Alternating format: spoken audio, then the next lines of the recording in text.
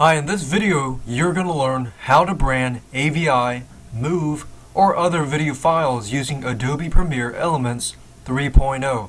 Now, the good thing about Adobe Premiere Elements 3.0 is that it not only can brand just AVI files or .mov files, it can brand lots and lots of more video files.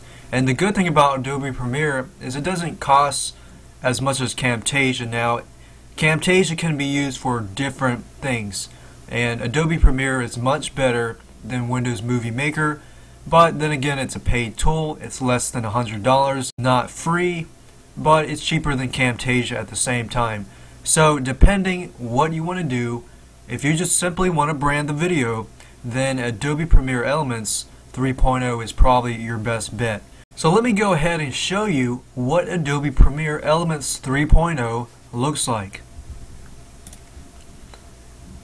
So this is what Adobe Premiere Elements 3.0 looks like. Now do not confuse this tool between the same thing as Adobe Premiere. Adobe Premiere Elements 3.0 is a much simpler tool to use. Even if you're a newbie, if, if you get it, simple tool to use just to create videos or to brand videos for that purpose. And let me go ahead and show you what kind of videos you can import into this tool. So if I go to here and I go to files and folders which I'm able to import we can see all the types of video formats and audio and other things like that that we can format. We can do AVI as we could do earlier. We can do SWF JPEGs, MP3s, and I'm just going over the most general files that you might encounter. Uh, MPEGs, PSD, PNG files, QuickTime movie files, which earlier in the Windows Movie Maker program it could not process, mainly because it's a Windows Media type thing. QuickTime, move files, and it can also process Windows Media files. So this is actually a very, very powerful tool that I use in order to create good looking videos, brand videos, things like that. So we'll go ahead and find the ClickBank files.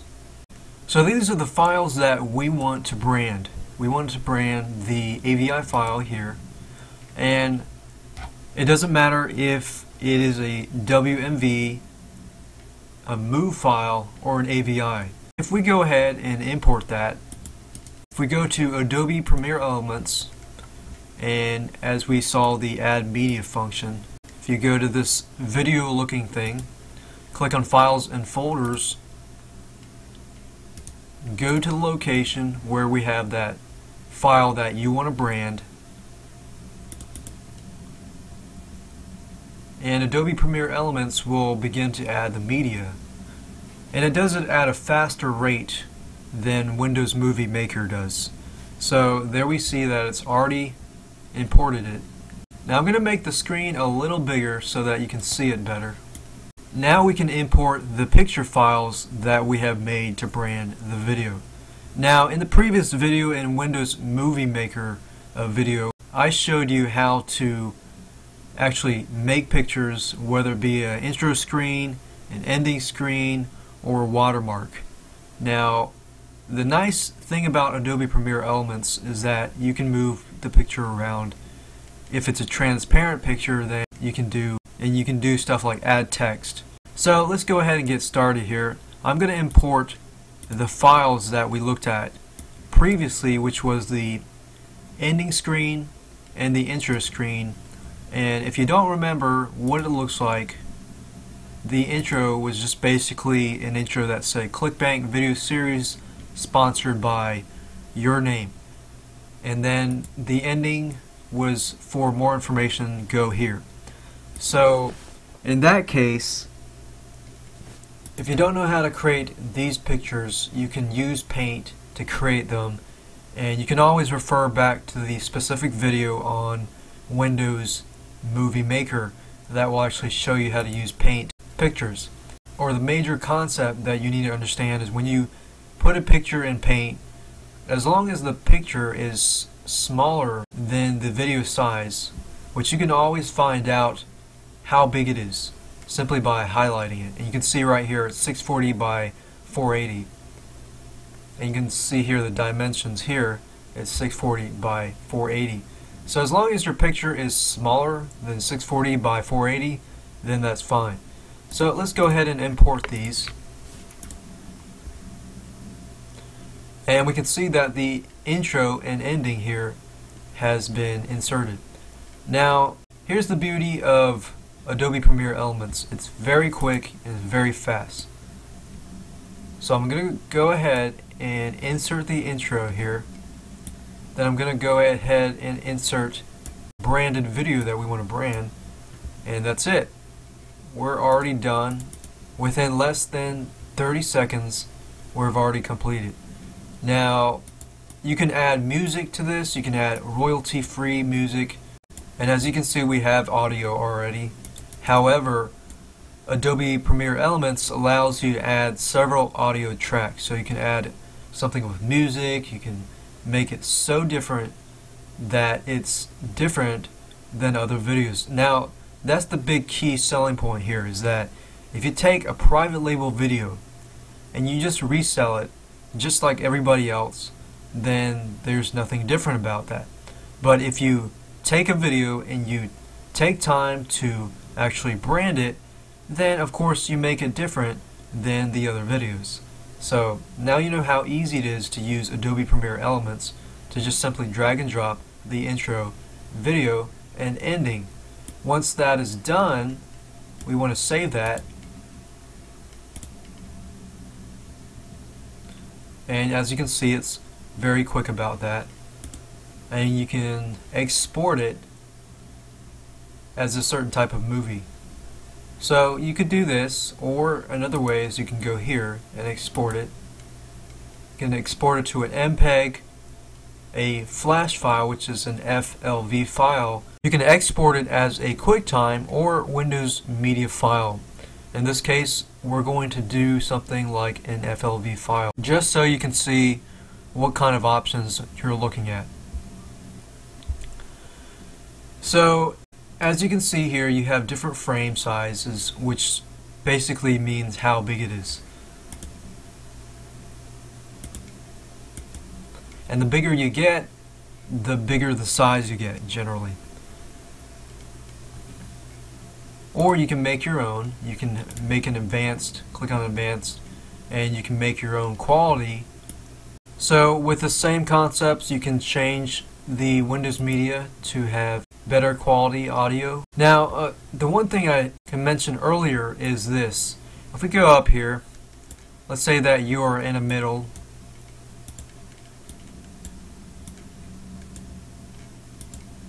Let's say that during the video you want to say something.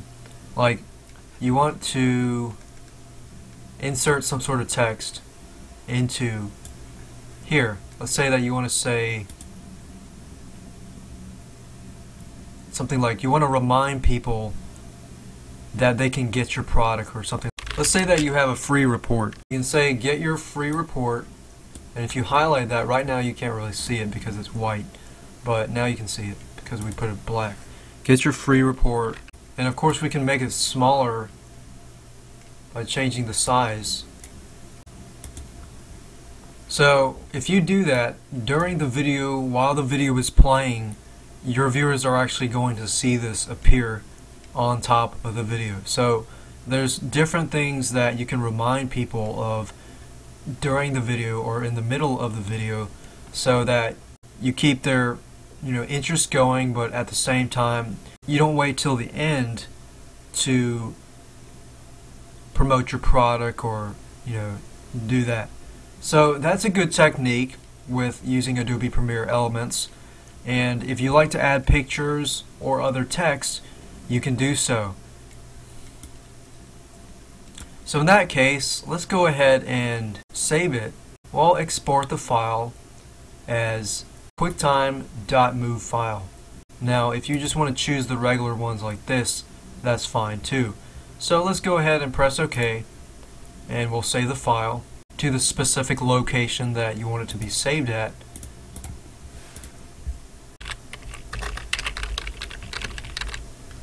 So once we're done with that, we click on save. And this process does take some time. So you can just walk away and come back later, do something else. So let's go ahead and fast forward a little bit here. Now that the Adobe Premiere Elements 3.0 tool has finished saving the file, we can actually go ahead and view it. So what we're looking at right here is that just now the Adobe Premiere test.move file has been created. Let's go ahead and run that file to see what it looks like. So as you can see here, this is what it looks like. Now remember with YouTube and other video sites is that when you initially view the video, you're going to see the beginning parts of the video. So that's why it's important to have some sort of introduction screen as shown here. So if we go ahead and view this video, this ClickBank video series we will be going over four different no matter if you sell 10 20 so if you remember we added a text onto the video.